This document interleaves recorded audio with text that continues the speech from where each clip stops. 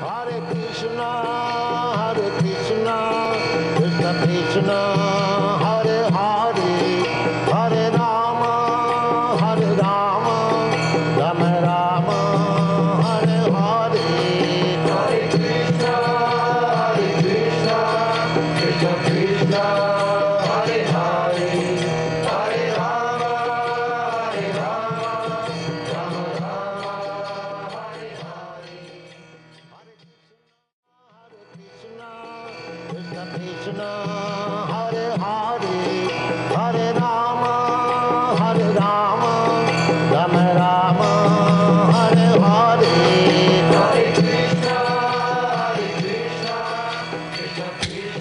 Chapter 11 The Touch of Superior Energy. From the first canto, 8th chapter, 28th text of the Srimad Bhagavatam. Hare Krishna, Krishna Krishna,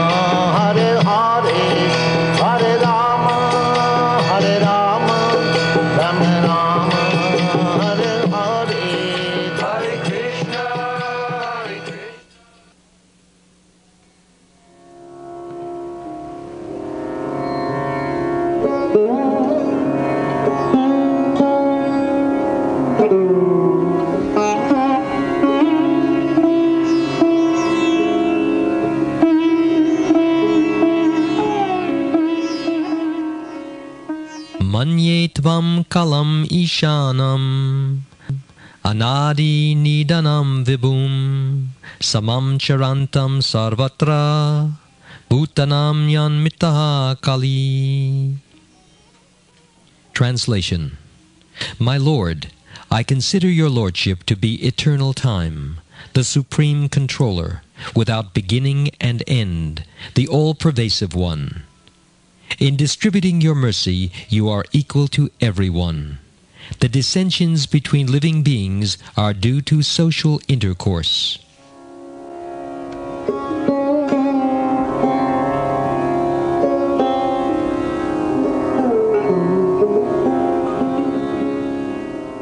Purport by Srila Prabhupada. Kunti Devi knew that Krishna was neither her nephew nor an ordinary family member of her paternal house. She knew perfectly well that Krishna is the primeval Lord who lives in everyone's heart as the Supersoul, Paramatma. Another name of the Paramatma feature of the Lord is Kala or eternal time. Eternal time is the witness of all our actions, good and bad, and thus resultant reactions are destined by him.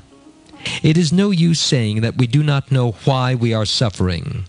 We may forget the misdeed for which we may suffer at this present moment, but we must remember that Paramatma is our constant companion, and therefore he knows everything, past, present, and future. And because the Paramatma feature of Lord Krishna destines all actions and reactions, he is the supreme controller also. Without his sanction, not a blade of grass can move. The living beings are given as much freedom as they deserve, and misuse of that freedom is the cause of suffering. The devotees of the Lord do not misuse their freedom, and therefore they are the good sons of the Lord. Others who misuse freedom are put into miseries destined by the eternal Kala. The Kala offers the conditioned souls both happiness and miseries. It is all predestined by eternal time. As we have miseries uncalled for, so we may have happiness also without being asked, for they are all predestined by Kala. No one is therefore either an enemy or friend of the Lord. Everyone is suffering and enjoying the result of his own destiny. This destiny is made by the living beings in course of social intercourse. Everyone here wants to lord it over the material nature, and thus everyone creates his own destiny under the supervision of the Supreme Lord. He is all pervading, and therefore he can see everyone's activities. And because the Lord has no beginning or end, he is known also as the eternal time, Kala.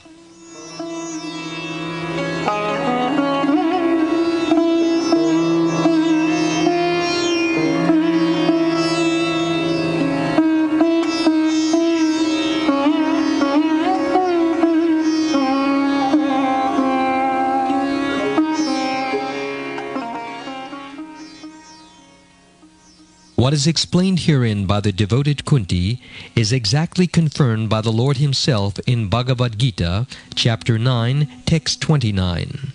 There the Lord says, Samoham sarvabhuteshu namedveshyo stina priya ye bhajanti tu mam bhaktya maite teshu chapyaham which means, quote, I envy no one, nor am I partial to anyone.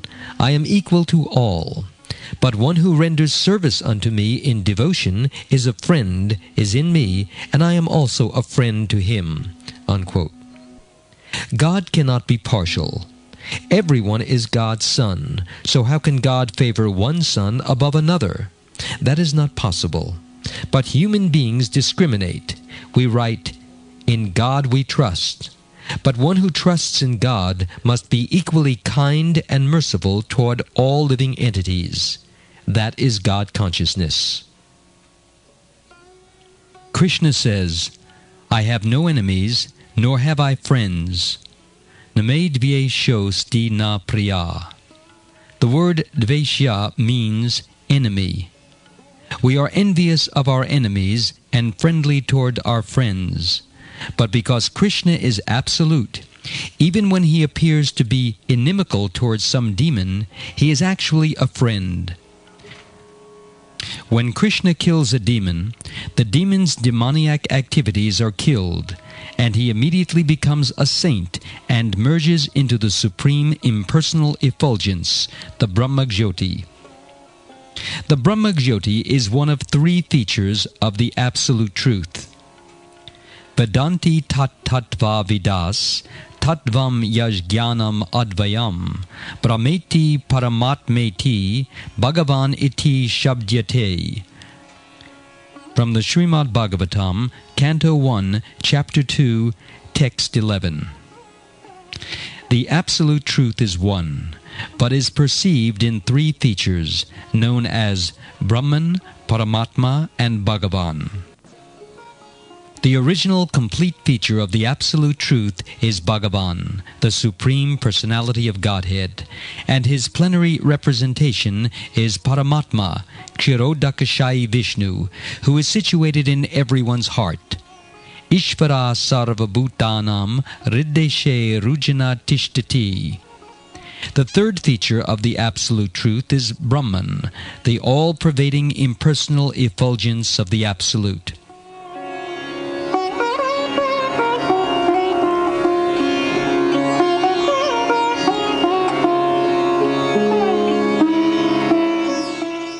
Absolute truth is equal to everyone, but one will realize the absolute according to the way one approaches him.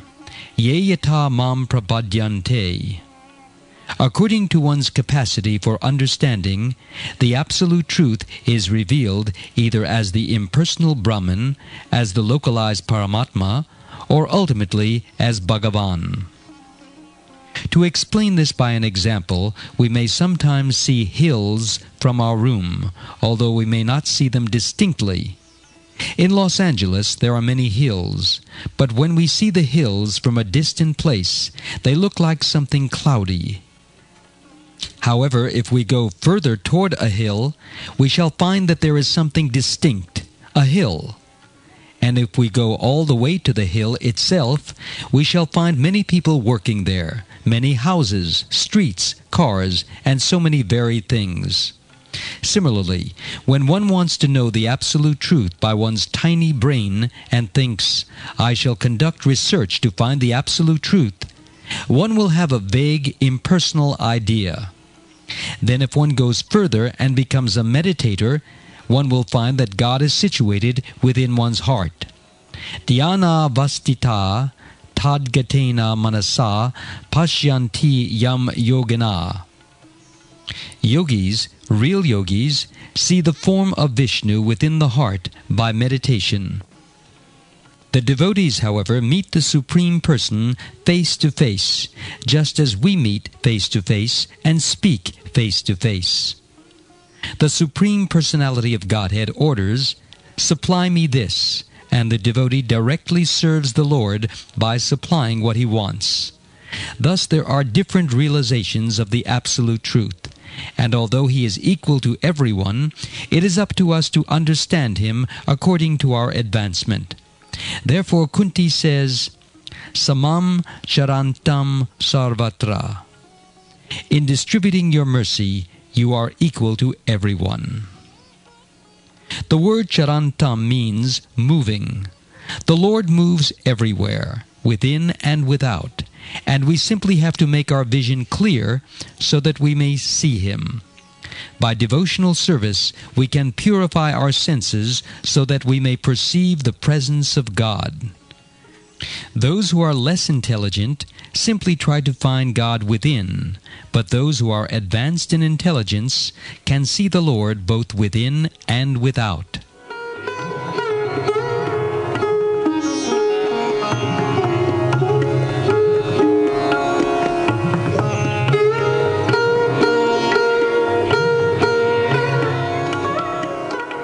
The yogic system of meditation is actually meant for those who are less intelligent. One who practices meditation in yoga must control the senses. Yoga Indriya Samyama. Our senses are very restless, and by practicing the different asanas or sitting postures, one must control the mind and senses so that one can concentrate upon the form of Vishnu within the heart. This is the yoga system recommended for those who are too much absorbed in the bodily concept of life. However, because bhaktas, devotees, are more advanced, they do not need to undergo a separate process to control their senses. Rather, by engaging in devotional service, they are already controlling their senses. For example, if one is engaged in worshiping the deity, cleansing the temple, decorating the deity, cooking for the deity, and so on, one's senses are already engaged in the service of the Absolute Truth. So where is the chance of their being diverted? Rishikena Rishikesha Sevanam Bhaktir Uchyate. Bhakti, devotional service, simply means engaging our senses, Rishika, in the service of the master of the senses, Rishikesha. Now our senses are engaged in sense gratification. I am thinking that because I am this body, I must satisfy my senses. In fact, however, this is a contaminated stage of life. When one comes to the understanding that he is not this body, but a spiritual soul, part and parcel of God, he knows that his spiritual senses should be engaged in the service of the Supreme Spiritual Being. Thus one attains liberation, mukti. One attains liberation when one gives up the false idea that the body is the self, and when one resumes his actual position of service to the Lord. Muktir hitvanyata rupam svarupena vyavastiti from the Srimad Bhagavatam, second canto, tenth chapter, sixth text. When we are conditioned, we give up our original constitutional position, which is described by Chaitanya Mahaprabhu as being that of eternal service to Krishna. Jivera Svarupahaya, Krishnera Nitya Das. But as soon as we employ ourselves in the service of the Lord, we are liberated immediately. There is no need to pass through some preliminary process. This very act of engaging one's senses in the service of the Lord is evidence that one is liberated. This liberation is open for everyone. Samam Charantam. In Bhagavad Gita, Krishna does not say to Arjun, only you may come to me and become liberated. No, the Lord is available for everyone. When he says, Sarva Dharman Parityajya Mamekam Sharanam Vraja, give up all other duties and surrender unto me, he is speaking not only to Arjun, but to everyone. Arjun was the original target, but in fact Bhagavad Gita was spoken for everyone, for all human beings, and therefore one must take advantage of it.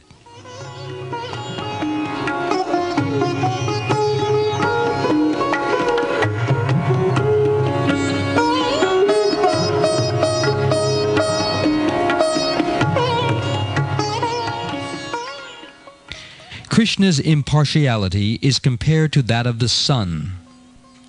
The sun does not consider here is a poor man, here is a low class man, here is a hog, I shall not distribute my sunshine to them. No, the sun is equal toward all, and one simply has to take advantage of it. The sunshine is available, but if we close our doors and want to keep ourselves in darkness, that is our decision. Similarly, Krishna is everywhere. Krishna is for everyone, and Krishna is ready to accept us as soon as we surrender. Samam charantam. There is no restriction. People may make a distinction between lower class and higher class, but Krishna says, Mam hi parta vyapashritya ye su papa yoneya from the Bhagavad Gita, chapter 9, text 32, which means, quote, even though one may supposedly be of a lower class, that doesn't matter. If he surrenders to me, he is also eligible to come back home, back to Godhead. Unquote. That same Krishna is described by Kunti Devi as eternal time. Everything takes place within time, but our time calculations of past, present, and future are relative. A small insect's measurement of past, present, and future is different from our past, present, and future. And similarly, the past, present, and future of Brahma, the chief creative living being within this universe, are different from ours. But Krishna has no past, present, or future. Therefore, he is eternal. We have a past, present, and future because we change from one body to another. The body we have now is dated. At a certain date I was born of my father and mother, and now this body will stay for some time. It will grow. It will produce some byproducts. Then it will become old and dwindle and then vanish. And then I shall have to accept another body. When the past, present, and future of my present body are finished, I shall accept another body, and again my past, present, and future will begin. But Krishna has no past, present, or future, because he does not change his body. That is the difference between ourselves and Krishna.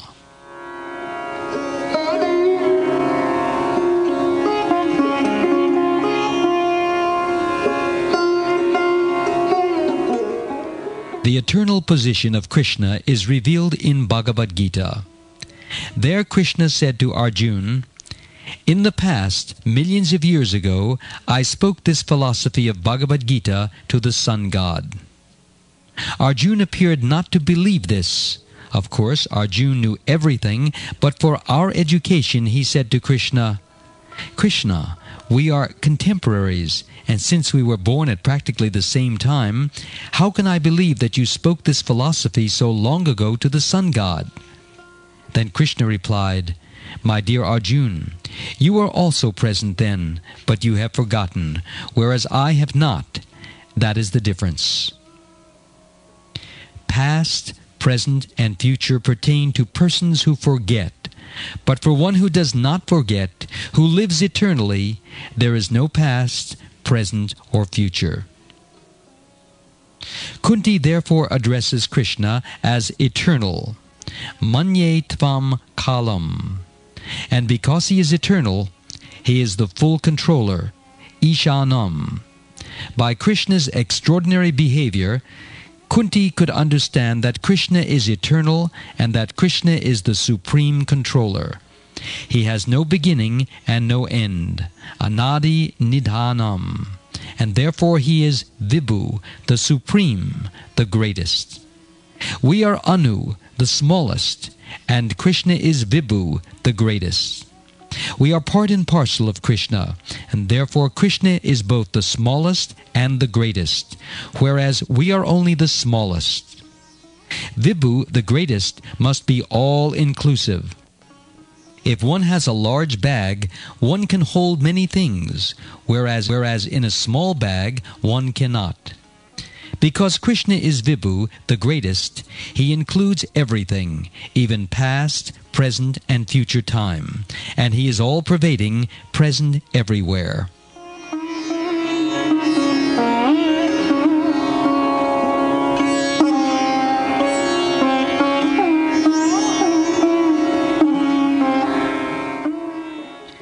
Without Krishna, matter cannot develop. Atheistic scientists say that life comes from matter, but that is nonsense. Matter is one energy of Krishna, and spirit is another. The spirit is superior energy, and matter is inferior energy. The matter develops when the superior energy is present.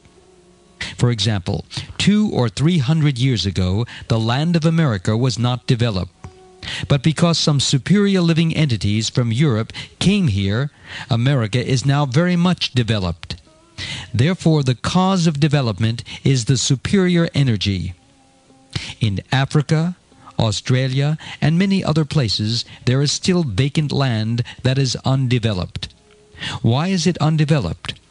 Because the superior energy of advanced living entities has not touched it. As soon as the superior energy touches it, the same land will develop so many factories, houses, cities, roads, cars, and so on. The point of this example is that matter cannot develop by itself. That is not possible. Superior energy must touch it, and then it will be active. To give another example, a machine is matter. It is inferior energy, and therefore unless an operator comes to touch the machine, it will not act. One may have a very costly car, but unless a driver comes, in millions of years it will never go anywhere. Thus it is common sense to understand that matter cannot work independently. It cannot work unless the superior energy, the living entity, touches it.